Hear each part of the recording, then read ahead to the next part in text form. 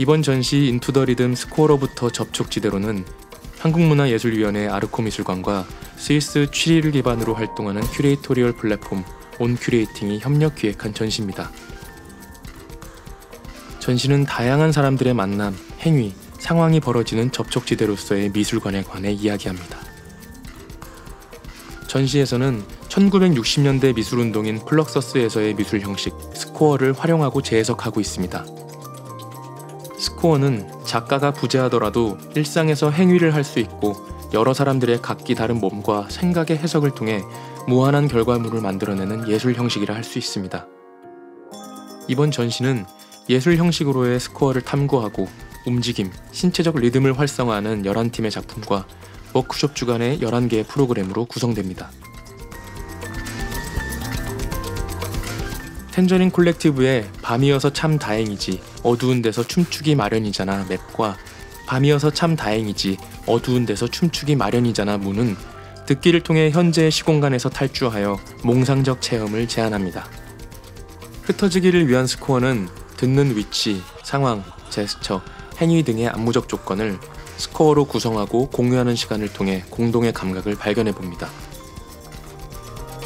손윤원의 음표는 디지털 신호를 주고받는 전자악기의 신호를 규칙화한 미디 노트의 픽셀 형태를 본떠 모듈 바닥재로 만든 조각이자 건축적 공간입니다. 음표는 사적 공간이 결코 분리된 것이 아니라 누군가의 침입과 공존, 개입에 노출되어 함께 있는 중첩된 공간임을 전합니다. 흐르는 몸은 전자음악을 함께 연주하고 배우는 모임인 레지스터 코리아를 음표 공간에 초대해 라이브 사운드 퍼포먼스를 선보입니다. 도래하는 공동체를 위한 작은 프로젝트는 예술, 예술가, 그리고 관객이 적극적으로 참여해 새로운 관계를 맺도록 하기 위해 모종의 활동을 작동시키고 해석하는 수단으로 스코어를 활용합니다. 온큐레이팅은 이 프로그램에서 플럭서스 운동의 이벤트 스코어를 중심으로 시각예술에서의 스코어 개념을 다루고 이를 참여자들과 함께 수행합니다. modular 구조 에디션 3은 아르코 미술관, 피스 오브 피스 협업으로 가변적 구조물을 제작한 것입니다. 작업은 사물의 생애 주기를 고려하는 한편 예술 공간에 놓인 사물에게 역할을 부여함으로써 사람들이 모이는 일시적 장소를 만듭니다. modular 구조 에디션 3과 연계하여 한국 예술 현장의 제도적 변화와 포용적 현실을 이야기하는 예술 육아 social club 그린 레시피 랩의 워크숍을 진행합니다.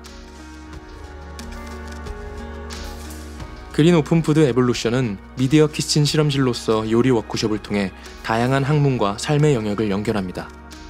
생물학자 린 마굴리스의 진화 생물학 이론, 요리 과정에서 일어나는 분자 수준의 변화, 그리고 뉴 미디어와 퍼포먼스를 가로지르는 학제 간 접근법을 탐구합니다. 해조류 키친랩 미끌미끌은 참여자들과 함께 해조류를 탐구하고 새로운 레시피를 만들어 음식을 나누며 서로의 경험을 공유합니다. 이 과정을 통해 상호 의존적 관계가 가져오는 변화를 직접 체험하고 살펴봅니다. 빅시스터는 인간의 관점이 인식에 미치는 영향을 살펴보는 동시에 인간의 눈과 디지털 영상 속 눈 사이에 응시가 불러오는 감시의 감각을 말합니다. 여성의 비중은 2010년부터 예술계 내 젠더 문제에 관한 자료 천여 점을 구축한 아카이브를 포함합니다. 작업은 스위스 미술관 소장품 목록에서 여성 작가의 비율, 여성 작가의 개인전 개체에 대한 수치화된 데이터 등을 수집하여 미술 현장과 사회 내에서 지속되고 있는 젠더 불평등을 가시화합니다.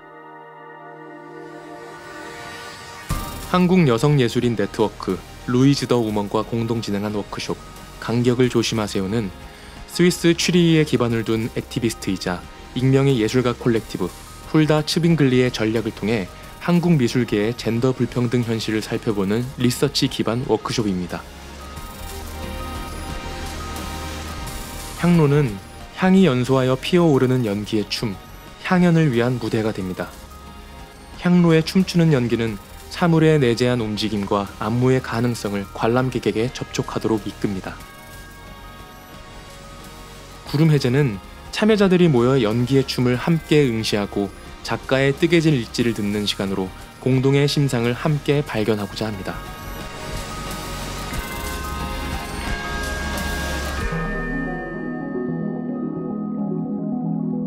가라오케 reading 영상 연작은 경계에서 살아가는 퀴어 페미니즘적 정체성을 말하는 글로리아 안잘두아의 글과 사유를 매개로 멕시코와 아메리카 국경의 경계이자 리오 브라보, 리오 그란데강 삼각주의 서사를 탐구합니다. 가라오케 reading 워크숍에서 관람객은 글로리아 안잘두아의 영어와 스페인어가 혼용된 텍스트를 따라 부르며 유색인종 레즈비언 여성으로 살아가는 존재들이 구사하는 혼종적 언어를 그 자체로 받아들이는 경험을 합니다. 영상 젤라틴에서 밤의 도로를 달리는 가상의 주인공 젤라틴은 함부로 정지하거나 머무를 수 없어 계속해서 이동해야만 하는 관성에 놓인 채로 전진합니다. 가속화되는 삶 속에서 더 이상 전진할 수 없는 답보 상태에 대해 이야기합니다. 퍼포먼스 젤라틴은 촬영 현장 이면을 노출하는 동시에 영상의 타임라인 밖에서 존재하는 사람들을 모으고 파편적 시간을 재조직하면서 기이한 시공간으로 관람객을 초대합니다. 히스테릭하거나 나이브하는 산켈러가 5년 동안 진행한 프로젝트를 다룬 비디오 에세이로 작가의 협업 과정, 수행 활동, 그리고 우연과 일시적 참여를 유도했던 다양한 시도를 압축적이고 역동적으로 보여줍니다. 워크숍 주간의 산 켈러는 아르코 미술관 전시장에 침구를 설치하고 관객을 초대해 잠과 관련된 일상, 의식, 미신 등의 이야기를 수집하는 수행적 프로젝트를 진행하고 대화를 통해 공유합니다. 사고파기 사는 2023년 독일 베를린에 위치한 팡케 갤러리와 팡케 클럽에서 처음 열린 프로젝트입니다. 이 프로젝트에서 10팀 이상의 밴드들은 하루 동안 열린 축제에서 net art, sound art, 미디어, 영상, 퍼포먼스 등 다양한 매체로 이루어진 작업을 선보였습니다.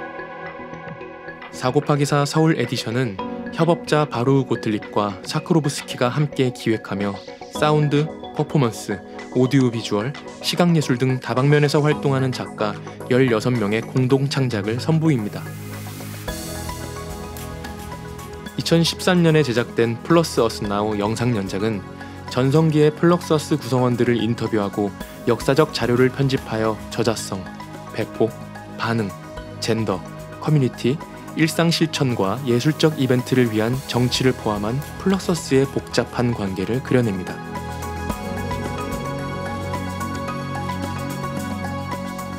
OnCurating은 동시대 curatorial과 미술 현장에 대한 담론과 비평에 집중하는 OnCurating 저널을 출판합니다.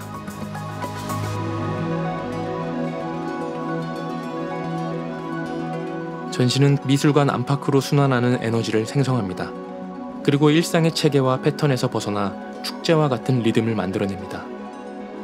다채로운 행사를 통해 미술관은 수동적으로 관람하는 공간이 아니라 미술관에 방문하는 모두가 민주적으로 참여하고 개입할 수 있는 시공간이 될 것입니다. 전시 인투 더 리듬 스코어로부터 접촉지대로는 참여와 화합을 통해 일시적인 공동체의 집단적인 힘의 응집을 실험해 보고자 합니다.